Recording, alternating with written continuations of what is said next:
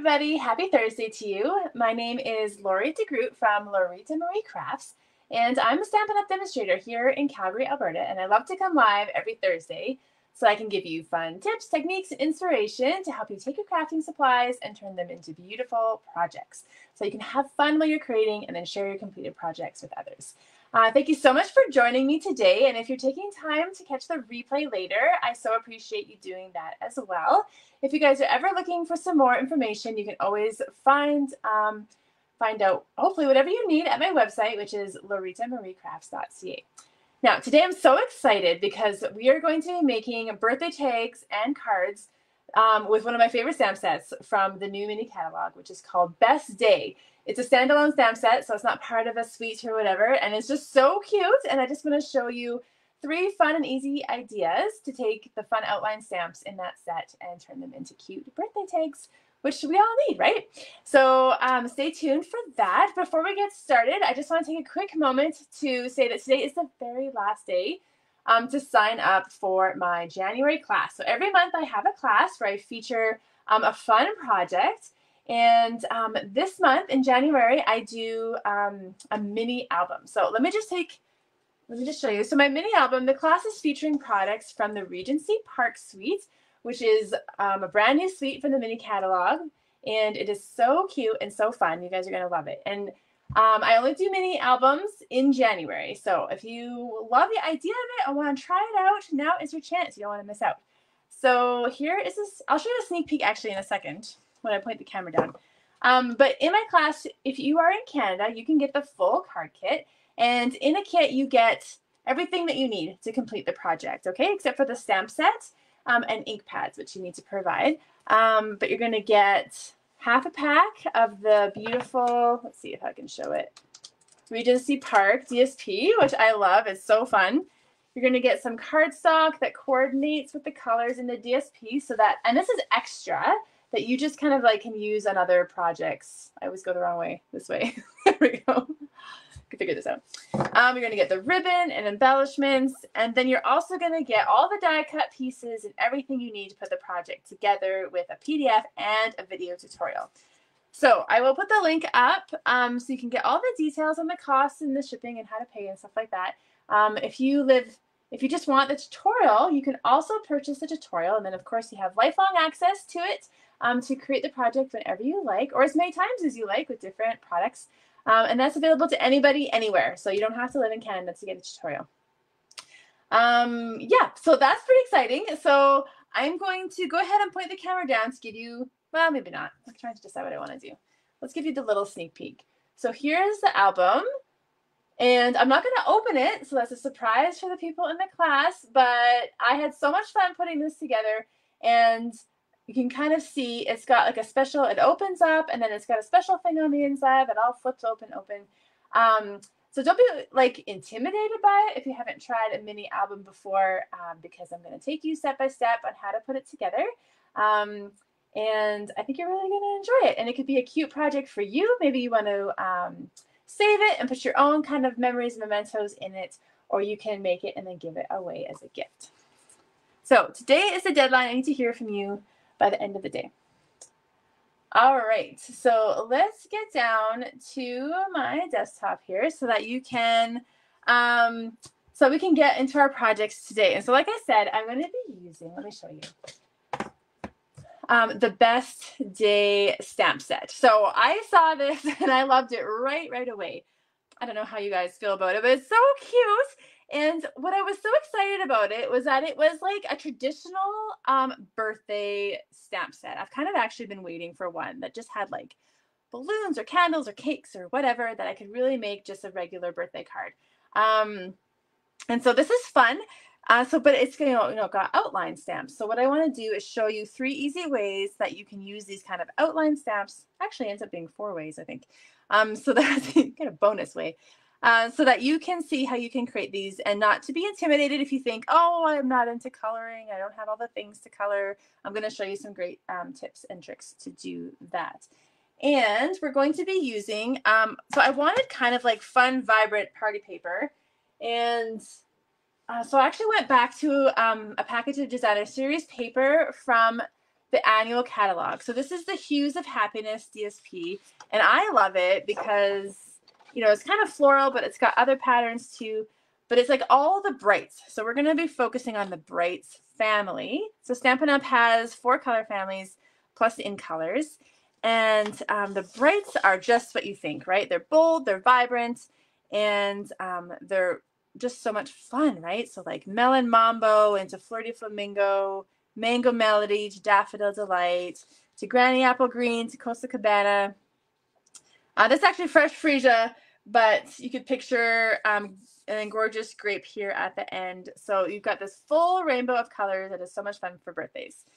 And so what we're going to do first is we're going to actually cut out some tags. Um, and we're going to make three tags. Or I'm going to show you how to make three tags. And um, you're going to I'm going to show you how to turn those tags into cards, okay? so that's what I'm going to do. Um, so we're going to be using the Tailor Made tag dies because um, that's just what I'm using today. So you get all these fun shapes of dies, and these can be used with the mini Stampin' Cut and Emboss. So um, the mini, I'm going to be using my big one today just because I have it out. But here, let me show you the mini one. So if you're just starting on, off and need a die cutting machine, the mini is so cute and portable. Look how awesome this thing is. And um, it's actually part of a starter kit deal. So if you um, want to be a part of Stampin' Up, you can get an amazing, amazing deal um, that includes product plus the mini.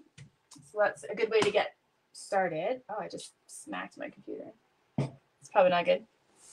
So what we're going to do is we're going to take this DSP, this the fun, fun rainbow colors here, and I'm going to cut a strip of it just so I don't waste it, just kind of bigger than the size of the tag. So I'm actually just cutting mine uh, two and a half inch strip. And then what I was thinking was that what's so fun about this paper is that you could have a variety of colors depending on who you want to give it to. You. So look at, you can cut out the pinks, then you can go down to the yellows and greens, and then you can go down to the purples and blues. So much fun. So this is the one we're going to use today. So I'm just going to grab my machine. So this is the full size. You can see how much bigger it is than the mini. So the mini one is great for like if you have a smaller craft space or if you like to travel or take your crafting supplies um, camping, let's say in the summertime, then the mini is awesome for that. So I'm going to put my tag on the purples and blues, run it through here.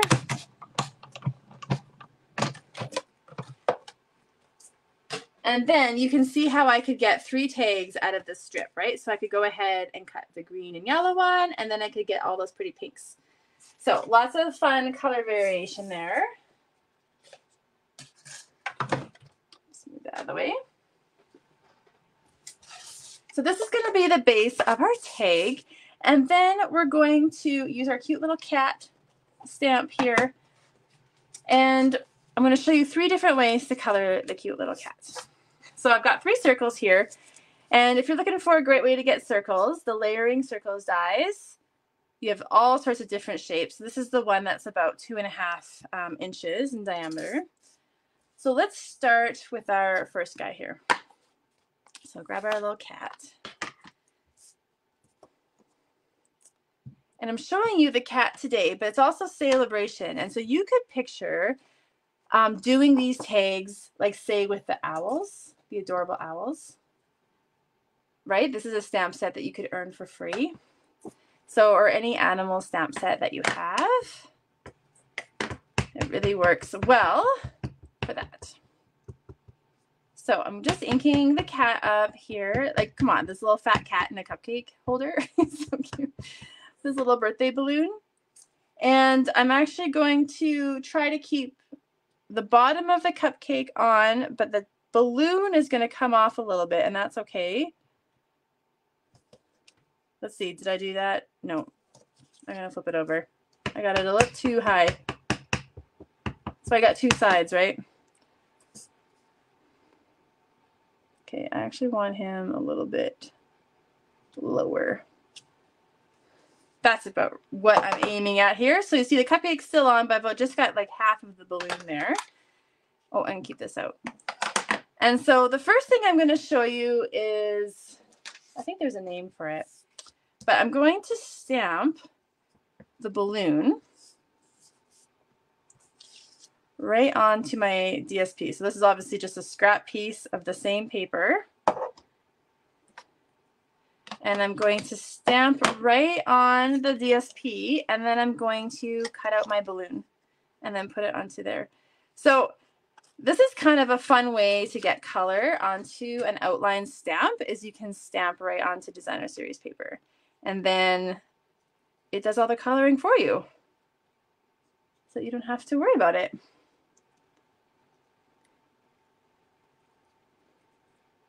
So we're just to stamp around or cut around the balloon. Doesn't have to be perfect. I know it's small, but I just wanted to show you that you could do that. And then what I want to do is we're going to put him on with a little dimensional. So I might actually, let's color him first. And then we're to put the little balloon and it's to kind of hang off a little bit like that.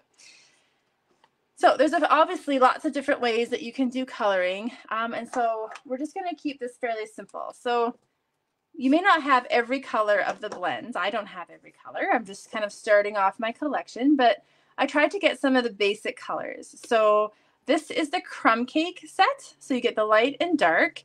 And so crumb cake or um, smoky slate, but you want something maybe in the neutrals so that you can do animals or more natural um, items, right? So when you're picking out your Stampin' Blends, so these are alcohol-based markers, so that means that they blend beautifully. That's why they're called Stampin' Blends.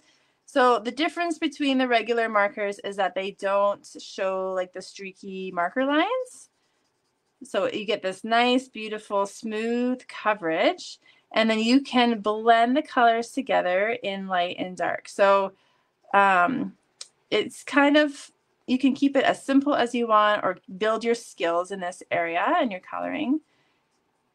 It's actually one of my goals this year to build my skills uh, up a little bit in my blends coloring.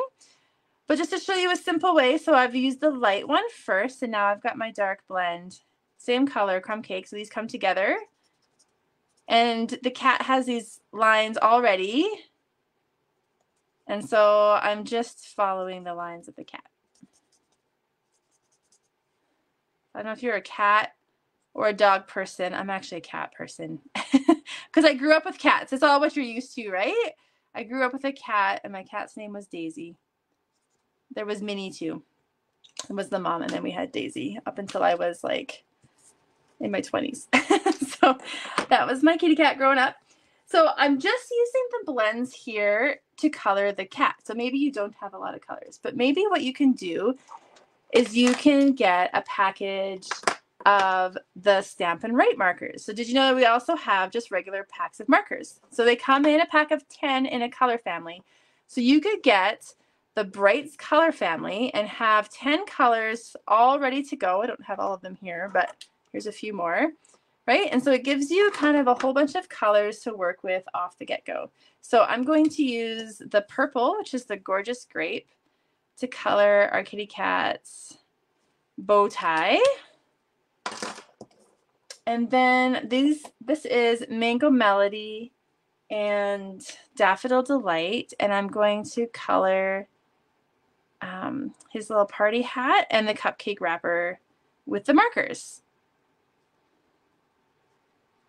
So I kind of like the blends on the actual cat to give him some kind of dimension. But if you don't have a lot of colors, this is one way to keep um, to keep coloring. So I had the markers, so I thought, oh, I'll just grab the markers and then I can have a few more colors. So this is Daffodil Delight, and I'm just to go and color my cupcake wrapper now. And he's to look so cute when he's all done. So I don't know if you've got birthdays coming up or you like to create a little stash of birthday cards.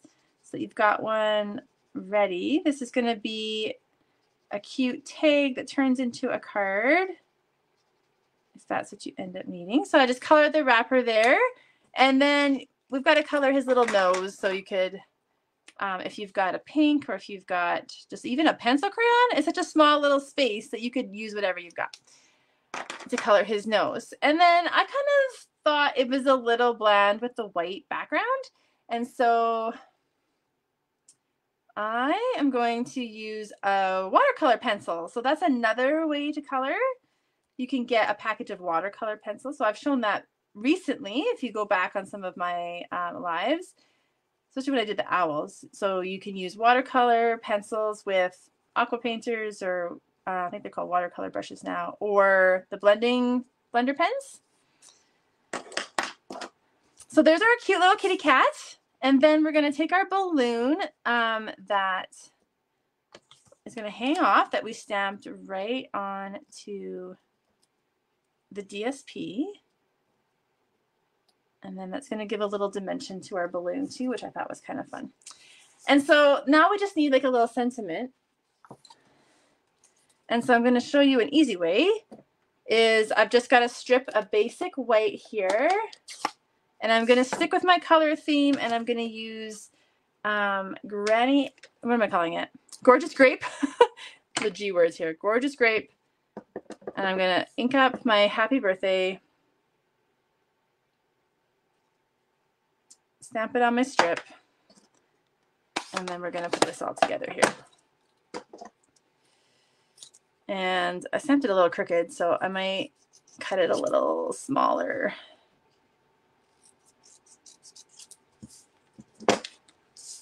Okay, so then let's put some dimensionals on the back. that was my cat in the wrong place. Just ignore him.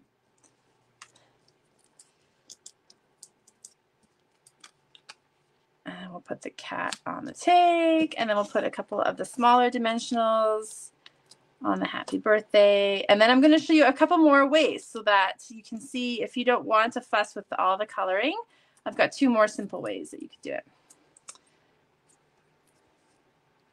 So we're going to put that on. And then there are gems that go with this paper. So it's got all these fun, vibrant colors.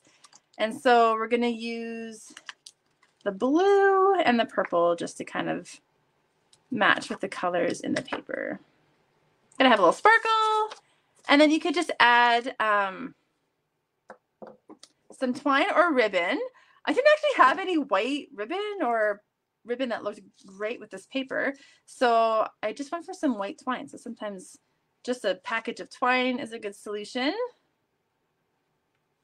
So oh, I think I forgot a step. You could put the little, um, look at the tag has a little like reinforcement or whatever you call it around the hole. So you could add that too just for another step if you've got the dies here. Let me just tie this bow. Okay, so that is our first way. And there's our little kitty cat. He's so cute. Isn't he fun? Happy birthday. And so now let's show you a couple other simple ways. So you grab the same circle, but let's say you don't have a lot of colors, okay? So you don't have a lot of blends, um, but you like the idea of this kitty cat. So I have shown this once before already. I made a card a few weeks ago, but you may not have seen it. So you could do the same thing where you stamp your little kitty cat. And I'm just looking at my sample and I should have done it. See, I need my I needed my back sides both times. This time I don't want the balloon off. I want the balloon on. See, when I'm on camera, I can't lean over as far as I would normally. Okay, so I want him like that. So the whole balloon is on. And then you can just take say you have one color of blends. So you're just starting out. I've got the yellow. This was actually the first one that I ever got.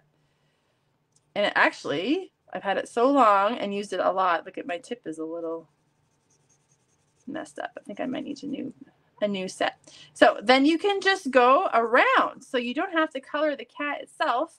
You're going to create a background for the cat. Okay, so I'm not going to do the whole thing. I'll show you in a second. And then maybe you want to differentiate the happy birthday a little bit. So an idea that you could do is grab your DSP. Let me just clean off my um, stamp. And then just like we did with the balloon, we're going to stamp our sentiment right onto the paper. So you can do it this way so it's all one color. Maybe I'll do it this way. Right? And so then we can cut this out and then I've got this awesome background and I didn't have to do any coloring at all. So you can use the DSP to stamp on. So let's show you this tag. So here's that one. So, so cute. Right? So we've got the yellow and green tag and I've colored just the yellow around the cat and then we've got the happy birthday that way. So those are two ways you can do it. A third way that you can do it is if you, I just gotta clean my cat off here. You've got the Stampin' Write markers, which those markers, so blends never go on stamps, just so you know, but you can use markers on your stamps, or if you've got the ink pads, of course, you can, you don't have to stamp your animal, your outline stamp in the black. You could always stamp it in the color.